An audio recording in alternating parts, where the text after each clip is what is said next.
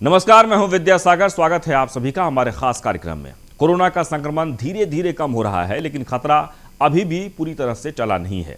तीसरी लहर का खतरा अभी भी बरकरार है। आगे क्या होगा, ये किसी को नहीं पता। लेकिन मौजूदा स्थिति ने लोगों को कई तरह के अनुभव कराए हैं, क्योंकि भयावह स्थिति में मदद के लिए लोगों की निगाहें सिर्फ़ उन्हीं को निहारती है, जिनको उन्होंने खुद चुना है और सत्ता के सिंहासन पर बिठाया है। लेकिन सवाल ये उठता है कि जिन प्रतिनिधियों को जनता ने अपना कीमती वोट देकर चुना है।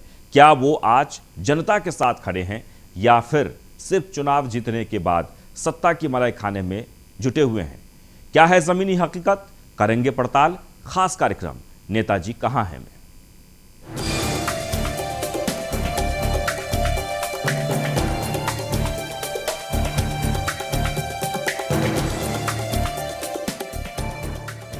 सुनो सुनो सुनो सुनो सुनो नेताजी कहाँ हैं? तो चुनाव के समय जनप्रतिनिधि जनता के अपने जनता को अपने वोट पक्ष में करने के लिए लगातार वायदे करते हैं और बहुत सारे वायदे करते हैं। लेकिन चुनाव जीतने के बाद जनप्रतिनिधि जनता से किया गया वादा भूल जाते हैं और अपने क्षेत्र से नदारद रहते हैं। एक और जहाँ कोरोना काल में हर कोई अपने जनप्रतिनिधि की मदद की आस लगाकर बैठा है लेकिन जनता की मदद के लिए विधायक अपने क्षेत्र की जनता के लिए किस तरह से कार्य कर रहा है उसी को लेकर हमारी टीम ने कानपुर के किदवई नगर विधानसभा के विधायक का रियलिटी चेक किया। जब हमारी टीम ने विधायक जी से बात की तो विधायक महेश त्रिवेदी का क्या कहना है आप सुनिए।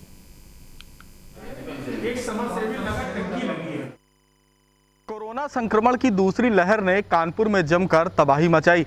जिसके बाद अब कोरोना की लहर शांत होती हुई नज़र आ रही है।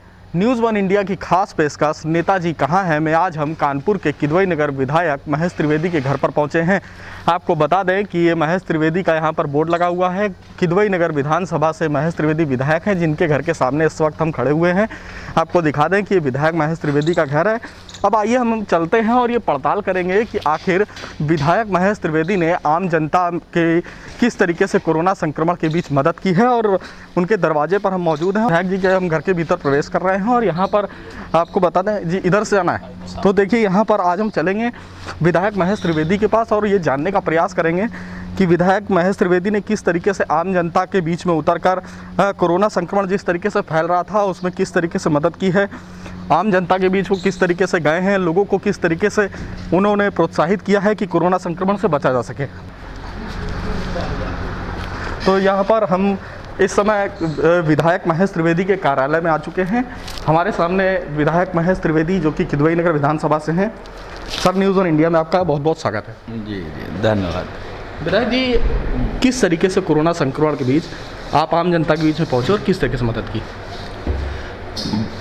ये जो पूरे देश में, पूरे पृथ्वी में संकट आया है, ये किसी से छुपा नहीं है। बहुत से लोग तो घर से निकलना ही बंद हो गए थे। यहाँ तक हमने देखा कि अगर इसके पहले किसी का शरीर छूटा तो सब लोग शामिल होते थे। और ये कोरोना को लोग के तो पड़ोस वाले भी एक दूसरे में शामिल होने में अभाव में रहे। कहीं ना कहीं दिक्कत रही समाज की। सीज़न की भी काफ़ी किल्लत आई थी। उसके लिए क्या अपने इलाके में अपनी विधानसभा में कोई व्यवस्थाएँ कराई जा रही कि आगे भी यदि मान लीजिए तीसरी लहर आती तो उससे बचा जा सके? भैया देखिए ये तीसरी लहर की तो अब हम लोग सरकार में हैं। इसलिए हमारे मुख्यमंत्री जी भी बहुत दिनों बाद ऐसा कोई मुख्यमंत्री हम लोगों को मिले हैं जो कमीशन खोर नहीं है नहीं तो अभी तक तो क्षेत्रीय दलों का आप हाल देख ही रहे थे, देश को, समाज को कैसा, कांग्रेस का भी हाल देख रहे थे क्या? मतलब आप सादा एक छोटा सा उदाहरण हम आपको दे रहे हैं कि मतलब सत्तर साल और एक सात साल सात साल मोदी जी का और सत्तर साल मतलब पार्टियों का, कांग्रेस का मेन और मतलब जब ऑक्सीजन की प्रॉब्लम हुई तो प्लेन से ऑक्सीजन आई ट्रेन से ऑक्सीजन आई। क्या तैयारियाँ हैं देश के? मतलब कभी कोई संकट आ जाए तो उसको लेकर अब निश्चित रूप से हर ज़िले में तैयारियाँ चालू हो गई है।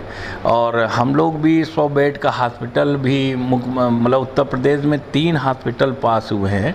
तो महाराज जी से बात हुई थी तो उन्होंने एक हॉस्पिटल यहाँ हमारे किदवाई नगर में मोरम मंडी में दे दिया है।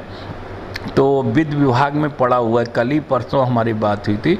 वो भी मतलब पास होने की स्थिति में है। थोड़ा इस कोरोना को लेके विद का थोड़ा पैसे का अभाव ज़रूर चल रहा है। जल्दी उसको भी पास हो जाएगा। और हम लोगों ने जो अपना विकास का होता, वो भी हम लोगों ने अगली बार भी करीब डेढ़ डेढ़ दो करोड़ रुपए हम लोगों ने अगली बार भी दिया था, इस बार भी अभी पचास साठ लाख रुपए हमने दिया है इसको कोरोना को लेकर।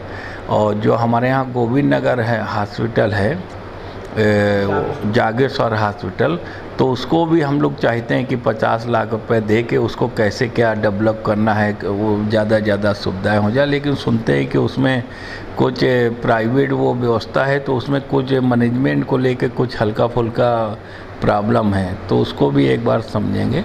तो निश्चित रूप से ज़्यादा ज़्यादा मतलब जनता को कैसे सुरक्षित रखा जाए, इसके लिए सरकार हो, संगठन हो, चाहे हम लोग एक कार्यकर्ता हों जनता के और संगठन के सिपाही के रूप में ज़्यादा ज़्यादा जनता के हित के लिए प्लानिंग अब हो रही है। ईश्वर न करे तीसरी लहर आए। विधायक किदवई नगर महेश त्रिवेदी जी थे जिन्होंने साफ़ तौर पर हमको ये बताया है कि उन्हों, उन्होंने अपनी विधानसभा में आम जनता को राहत पहुँचाने के लिए एक सौ बेड के अस्पताल के लिए भी उत्तर प्रदेश सरकार से स्वीकृति कराई है।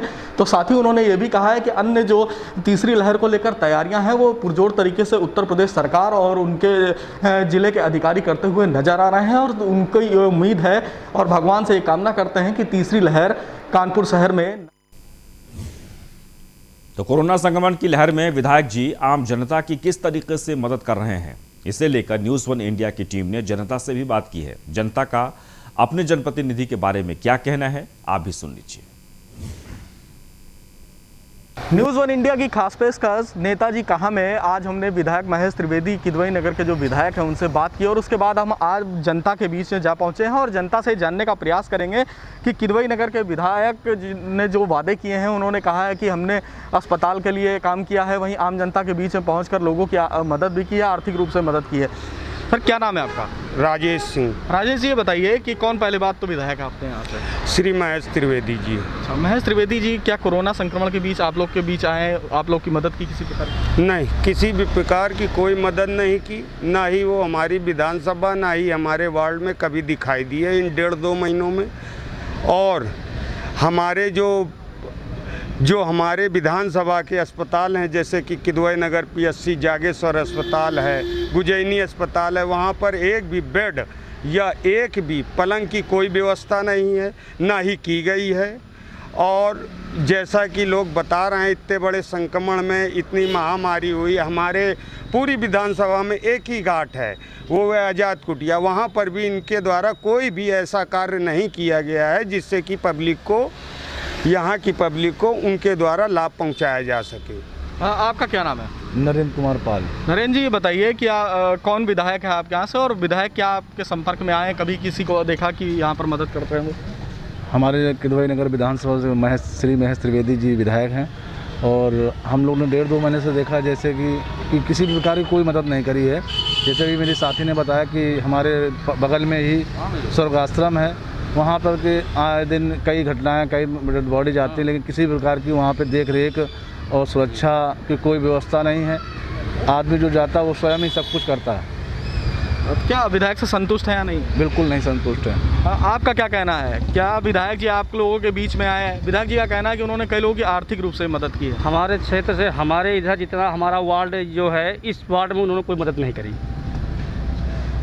अच्छा ये बताइए जिस तरीके से पाँच साल पूरे होने को आ रहे हैं विधानसभा के चुनाव को लेकर फिर से चुनाव लगे हुए हैं विकास कार्य को लेकर क्या उन्होंने किया? कुछ भी नहीं किया।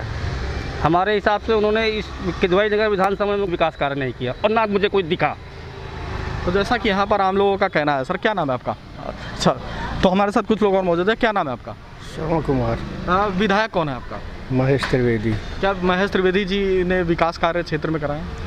हमने तो इलेक्शन के बाद उनको यहाँ देखा ही नहीं बस झंडा रोहड़ में एक बार यहाँ आए हैं बस उसके बाद हमने उनको यहाँ देखा ही नहीं। क्या विधायक जी का कहना है कि उन्होंने कोरोना संक्रमण जिस तरीके से कानपुर शहर में काफ़ी कहर भर पाया कई सारे लोगों की मौतें हुई तो ऐसे में कहीं ना कहीं से क्या विधायक जी मदद करते हुए नज़र आए? भाई इस वार्ड में तो उन्होंने कोई मदद नहीं की। हाँ और अलग वहाँ किया हो किसी नगर के तो किया हो यहाँ तो नहीं कोई मदद की। तो जैसा कि यहाँ पर हमने आपको बताया कि इससे पूर्व में हमने विधायक महेश त्रिवेदी से भी बात की थी। उनका ये दावा था कि उन्होंने आर्थिक रूप से मदद की है, लोगों को राशन पहुँचाने का भी काम किया है। मगर आम जनता के बीच में हकीकत कुछ दूसरी है। विधायक महेश त्रिवेदी हमारे इस रियलिटी चेक में पूरी तरीके से फेल होते हुए नज़र आ रहे हैं। कैमरा पर्सन आँसू के साथ Suraj Pandey, news one India, Kanpur. तो जनता की राय जानने के बाद न्यूज़ वन इंडिया के रियलिटी चेक में विधायक महेश त्रिवेदी पूरी तरीके से फेल साबित हुए हैं।